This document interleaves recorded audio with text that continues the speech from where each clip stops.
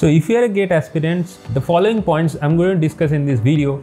If you are practicing continuously day by day, this will ruin your entire gate preparation and all these points i'm going to tell you in this video is directly from my personal experience because मैंने दो बार gate दिया था तो मैंने इस type की बहुत सारी चीज़ फेस किया था एंड आई आई बिलीव ये आपको जानना ज़रूरी है, नहीं तो मतलब आप प्रिपरेशन करोगे, आपको पता ही नहीं चलेगा कि this type of things can ruin your entire GATE preparation आप जब अल्टीमेट गेट एग्ज़ाम में जाओगे, या फिर उसके बाद आपका जब रिज़ल्ट आएँगे you will see that you have failed in GATE exam so please keep all this points in you mind well preparing for GATE so what are those points let see in the video and just like all this points you have to remember one very important point also कि if you are watching this video you have to subscribe to my channel to receive more this kind of videos regularly and also video को पूरा देखो, उसके बाद अगर पसंद आए तो डेफिनेटली लाइक भी कर देना। Okay the first thing is negative thought देखो, ये बहुत लोग का मतलब ज़्यादा से ज़्यादा लोगों का होता है कि वो सोचते हैं कि यार अगर गेट में मेरा अच्छी रैंक ना आए तो क्या होगा? अगर आई आई नहीं मिला तो क्या होगा? मेरा तो ऑलरेडी कोई जॉब नहीं है तो अगर गेट नहीं हुआ तो क्या होगा?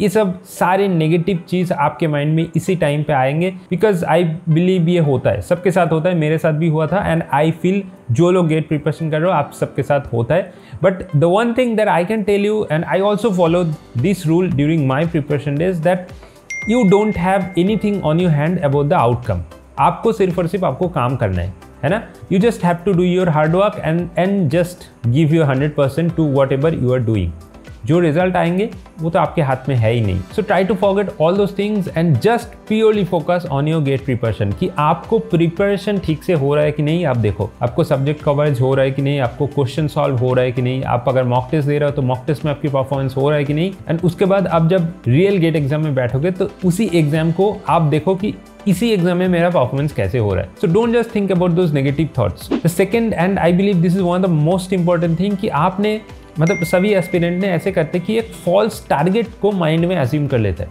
मतलब मेरे को ए आई आर वन ही लाना है, मेरे को ए आई आर टेन लाना है ए आई आर हंड्रेड के बीच में आना है।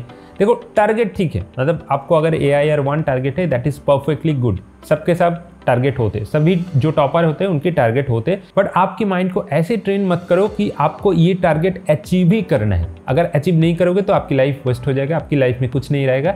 ऐसे आपकी माइंड ट्रेंड मत करो, ठीक है? देखो, आपकी A I R one A I R ten A I R hundred A I R five hundred जो भी हो, आपके हाथ में है क्या? ये गेट की जो ए आई आर होता है, जो रैंकिंग होता है, वो तो रिलेटिव होता है। आपको तो ऐसे नहीं होता कि आप 90 से ज़्यादा करोगे तो आपको रैंक वन ही मिलेगा, ऐसा तो नहीं है। सारे स्टूडेंट्स के बीच में जिसका मार्क्स सबसे ज़्यादा होगा, वही तो ए वन होगा। चाहे वो 50 मार्क्स से भी ए वन बन सकते हैं, चाहे वो 100 मार्क्स से भी ए वन बन सकते हैं। So that is not on your hand आपके हाथ में क्या है? आपकी प्रिपरेशन है एंड आपकी परफॉर्मेंस है। तो उसके ऊपर फोकस करो। A I R one A R five ten वो तो दूर की बात है। आपको पहले गेट में एक अच्छी परफॉर्मेंस करना है। हाँ टारगेट है कि आपको एक अच्छी रैंक करना है, आपको आई जाना है, आपको पी जाना है that is a good target but ऐसे टारगेट मत करो कि आपको ए आई ही होना है, आपको ए आई के बीच में आना है या फिर ए आई में आना है। ऐसे टारगेट मत करो प्रिपरेशन में फोकस करो that will be really really important the third thing is you are not aware of the different dynamic situation मतलब मान लो आप कोई मॉक टेस्ट दे रहे हो तो मॉक टेस्ट में आप जो क्वेश्चन पेपर अभी दे रहे हो तो उसका क्वेश्चन डिफिकल्टी लेवल शायद बहुत ईजी हो सकता है। आप ऐसी कोई मॉक टेस्ट दो तीन दे के चले जाओ गेट एग्ज़ाम में बट आप गेट एग्ज़ाम में जाके देखोगे गेट क्वेश्चन बहुत ही तो टफ हो रहा है। तो आप ऑब्वियसली वो क्वेश्चन नहीं सॉल्व कर पाओगे। बिकॉज़ आपकी माइंड तो ऐसे ही ट्रेंड है कि जो क्वेश्चन आपने मॉक टेस्ट में सॉल्व किया, आपकी माइंड हमेशा वही सेम क्वेश्चन सेम टाइप की क्वेश्चन एक्सपेक्ट करेंगे। So that is the one very bad thing about the mock test and try करो, ऐसी मॉक टेस्ट आपको खरीदना जिसका डिफिकल्टी लेवल थोड़ा हार्ड हो। बिकॉज़ आपकी माइंड हमेशा ट्रेंड होते रहेंगे कि मेरे को इस टाइप की क्वेश्चन मैं एक्सपेक्ट कर सकता हूँ असली गेट में। लेकिन अगर आपकी माइंड गेट एग्ज़ाम में जाके देखेगी यार ये तो बहुत ही आसान क्वेश्चन है, इसे तो ज़्यादा टफ क्वेश्चन तूने मॉक टेस्ट में सॉल्व कर दिया तो आपको एक अंदर से कॉन्फिडेंस बूस्ट हो जाएगा कि हाँ this type of question I can definitely solve ऐसे भी कोई क्वेश्चन होता है जो रियल गेट में आता है कि आप देख सकते हो जो प्रीवियस क्वेश्चन है कि क्वेश्चन का लेंथ बहुत ही बड़ा है। तो आपको अगर छोटा छोटा क्वेश्चन करने की आदत है तो ऑब्वियसली दैट लॉन्ग क्वेश्चन अगर आप देखोगे तो आपकी आदत ही नहीं बन जाएगा कि वो क्वेश्चन मेरे को पढ़ना है। चाहे क्वेश्चन बहुत ईजी हो सकता है। So the best thing would भी मैं हमेशा सजेस्ट करता हूँ मेरा हर वीडियो पे कि आपको गेट एग्ज़ाम की जो हर एक पेपर है, हर एक साल की पेपर होता है, उसी को तीन घंटे बैठ के एज ए मॉक टेस्ट आप दे सकते हो।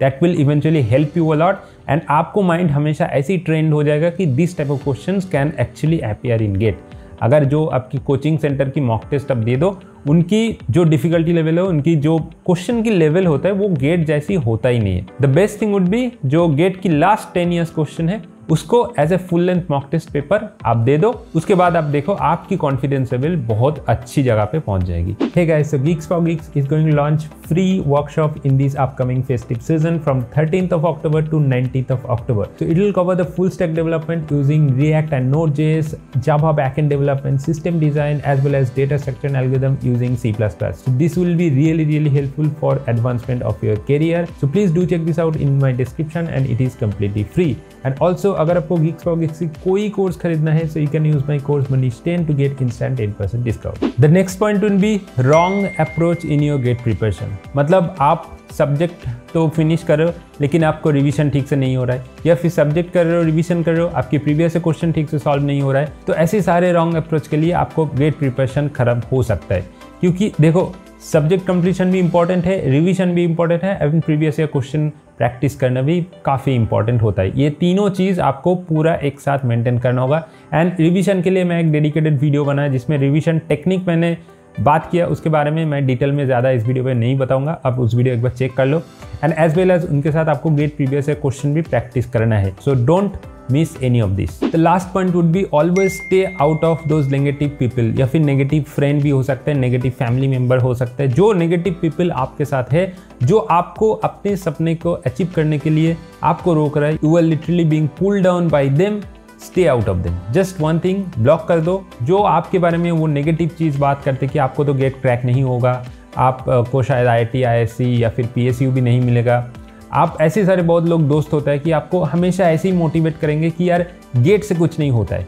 मेरा मेरा खुद के एक्सपीरियंस से बोल रहा हूँ, बहुत सारे ऐसे नेगेटिव माइंडेड पीपल होता है जो आपको हमेशा बोलेंगे कि यार गेट से तो कुछ नहीं होता। है because they have already given up their GATE preparation तो आपको भी उसी टीम पे उनको ले जाना है। तो इसीलिए नेगेटिव माइंडेड पीपल से हमेशा बच के रहना। एंड ऑल्सो जो नेगेटिव इंसिडेंट्स भी आपके साथ होता है, चाहे आपकी फैमिली का कोई इशूज़ होता है, आपके कोई पर्सनल इशूज़ भी हो सकते हैं so try to avoid this as much as possible because this is the vital time आपकी जो तीन चार महीने बच्चा है गेट एग्ज़ाम से पहले। So this is the vital time आपको इससे बच के रहना होगा। हमेशा आपको, आपकी जो गोल है उसी को फोकस करके, उसी को फॉलो करके आपको आगे बढ़ना है।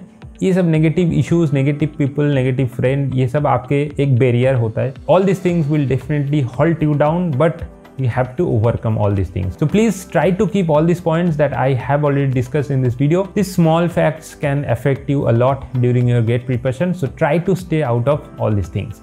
So I hope you enjoy this video video को अगर पसंद आए तो एक लाइक कर देना एंड चैनल को डेफिनेटली सब्सक्राइब करना मत भूलना and also press the bell icon to receive instant notification तो बस सच की वीडियो इतना ही I see the next video till take care and goodbye